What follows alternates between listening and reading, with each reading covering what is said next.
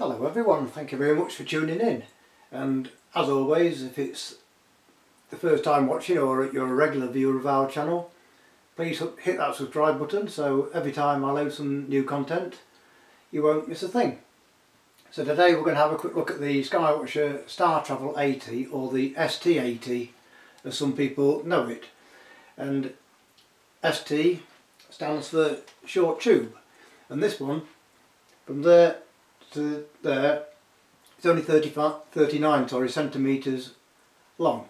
So as an example in the background there you can see my 12 inch Dobsonian which is pretty much the same width as this is long so hence the ST80 this one comes on a alt azimuth mount. You can also get this as, as a OTA or optical tube assembly on its own which I'll come into onto shortly. And um, this one it's it just screws in there like a, a tripod thread straight into the mount with this wheel here that tighten it, tightens it into place. And you can slacken that off and move the telescope forwards and backwards on, on the mount like so. So you can get it correctly centered on the mount. For example if you're using a camera or if you're using a heavier eyepiece.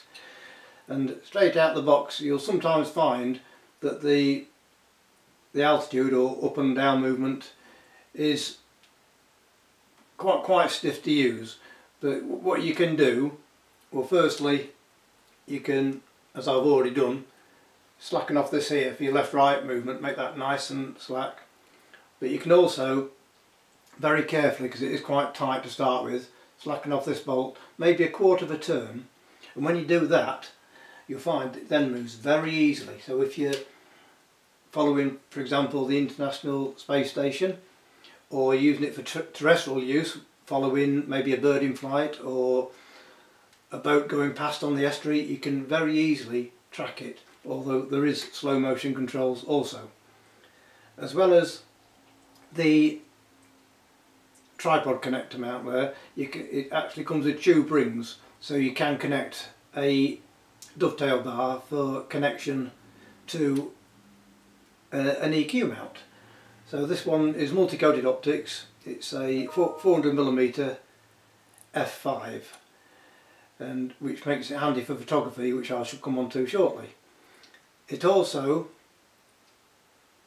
has a camera thread there on the top so if you want to mount a, a camera piggyback you can also do that. I find a, number of people they also find this OTA very good to be used as a guide scope so often people will contact me and ask me if I can just supply the OTA, OTA optical tube assembly on its own without any eyepieces because they only want it to be used as a guide scope. So this one comes with a, a red dot finder but it does come with a standard mount there so we'll accept the Skywatcher 6x30 and the 9x50 optical finder scopes which come in angled or straight. So this one it comes with a couple of Plössl eyepieces but you, what you'll find if you buy the OTA on its own you get a couple of modified achromatics and that's a posh way of saying budget eyepieces but they are quite good eyepieces. So the eyepieces you get when you get it with the AZ3 mount are a very nice fully coated 26mm Plössl there with good eye relief, very nice right, that gives wide field of view at just 16 magnification and the other one you get is the 12.5mm multi-coated eyepiece just to give you that little extra magnification. And if you want a bit more power you get a very a standard Barlow lens. And this is a standard one it's just a, a single lens element it's not multi-coated or anything so be aware of that. You can upgrade to a multi-coated diagonal if you want and that takes up to 64 magnification.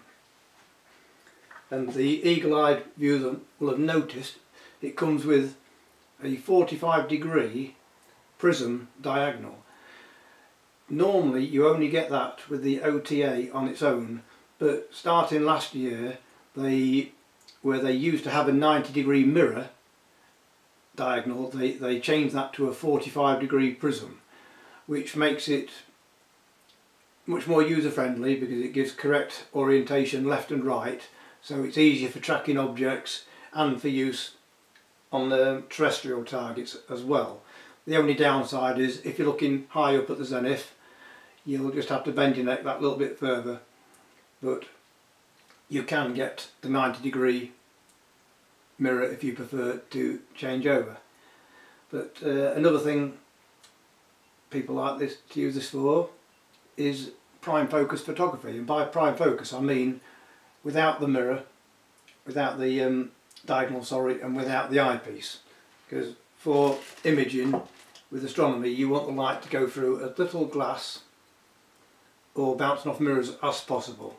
So always use it like this for prime focus photography making it a 400mm f5 and it has a T-ring, a T-thread already there on the focuser on the end so you don't have to buy another adapter so just screw, screw your T-ring on there for whichever camera you use whether it be a, an SLR, a DSLR or a mirrorless.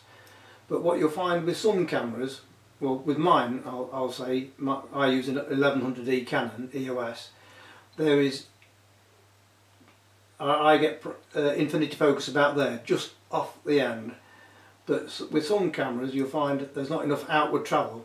And so you think you need to buy an extension tube but you don't really have to because this is the Skywatcher Deluxe Barlow and what I'm about to demonstrate you don't you can't do with the the um, the basic budget one that you get with this scope because the lens doesn't come off so all you do is unscrew the lens there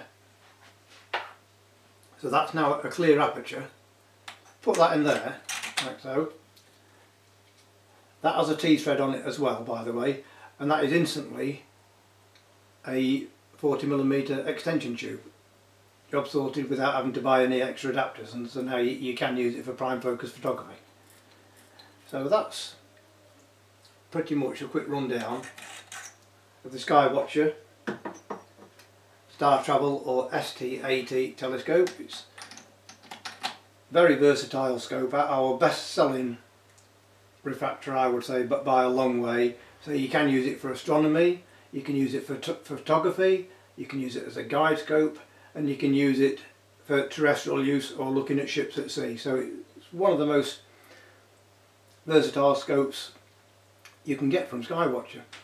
So I hope that helps and uh, a couple of little tips on adjusting the tension of the tripod and how to get and also how to get prime focus of photography has helped so thank you very much for watching as always and please check out the links in the description below